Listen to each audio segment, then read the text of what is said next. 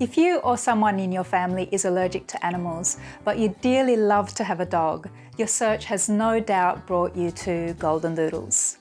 You've heard they're hypoallergenic, you've spoken to others and they said their dog doesn't trigger their allergies. Excellent. And massive bonus, these dogs are adorable. So you're set. Well, perhaps. If dog allergies are a serious issue for you, then this video is for you. Before you commit to getting a Golden Doodle puppy or adult, there are a few things you need to know. And definitely stick around to the end for what you may possibly find to be some surprising information.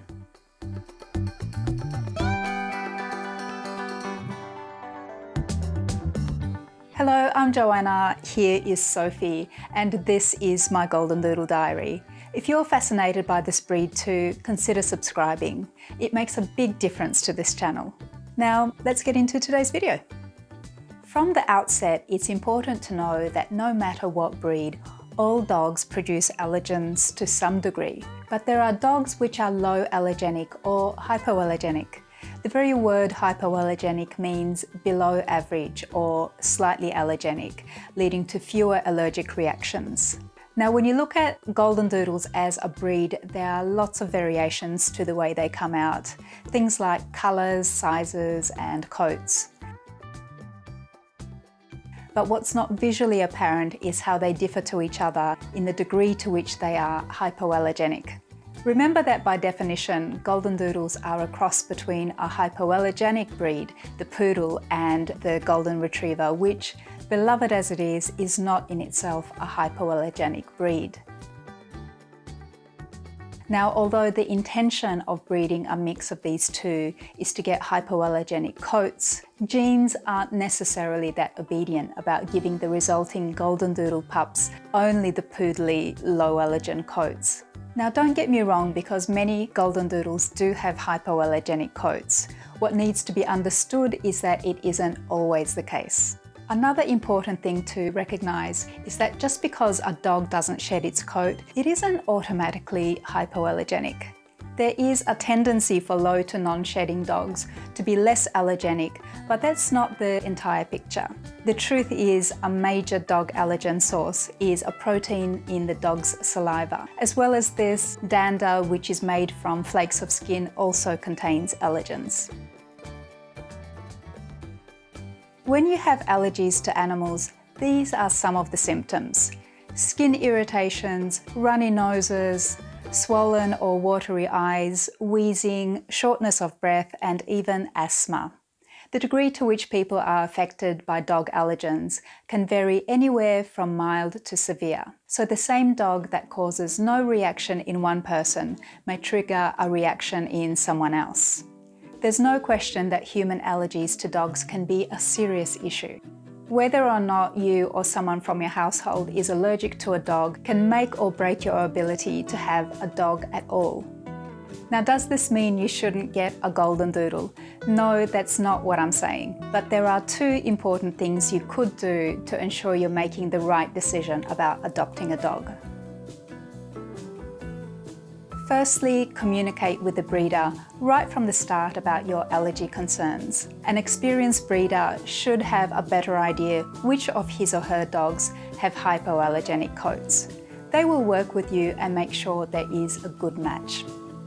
Now, many people want to find out what generation of Golden Doodle is best when it comes to being low allergenic. But even if both dog parents are low allergy dogs, that doesn't mean that the puppies will necessarily have a similar allergen profile.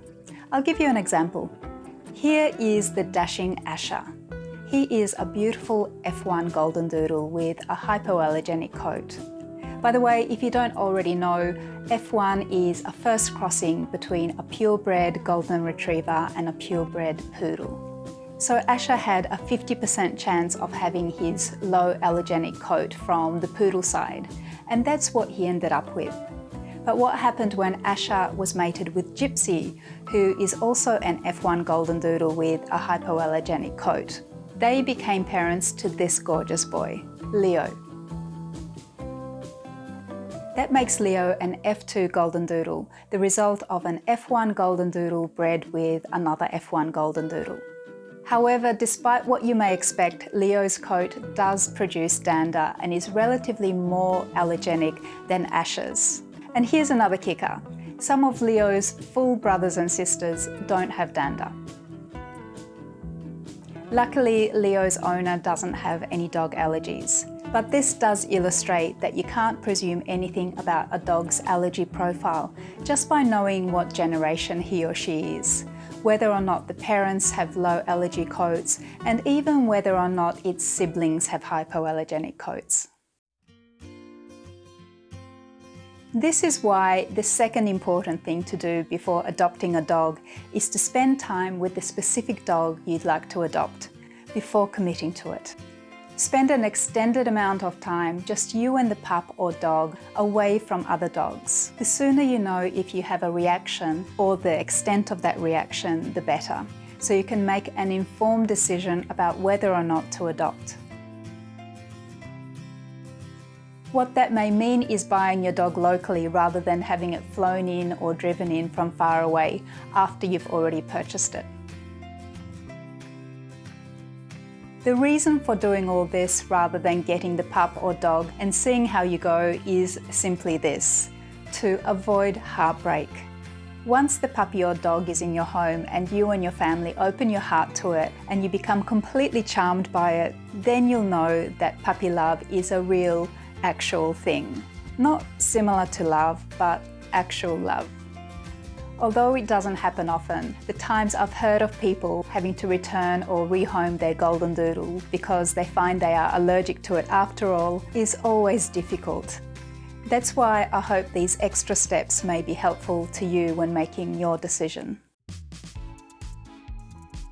Now I'd like to introduce you to two gorgeous and extremely loved dogs.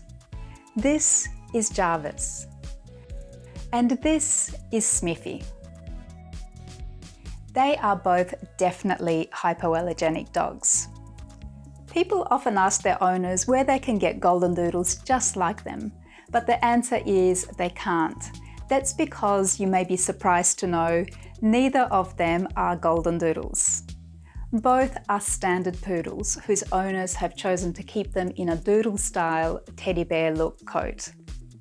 So if you love the doodle look and allergies are a big issue for you, Perhaps a pure poodle whose coat is kept doodly may be an option for you to consider. And just for fun and to show you how much a hairstyle influences the look of these dogs, this is the lovely Hazel. Hazel is, in fact, a golden doodle, going undercover to look very convincingly like a poodle because of how she's been clipped. Likewise, Jouet is a golden doodle, a mini golden doodle, who does a pretty adorable and convincing poodle impression. Alright, let me indulge this line of thought just one more time. A quick little quiz for you. This is Theodore. My question is golden doodle or poodle? Theodore is actually a golden doodle. So now you see how blurry the lines between breeds can be. So there you go, golden doodles, poodles, doodles. I wish you the best in making your choice. Now, if you'd like to find out more about the seven great habits to have as a golden doodle or poodle owner, I made a video about it. You can check it out right here. Thanks for your company today and see you again later.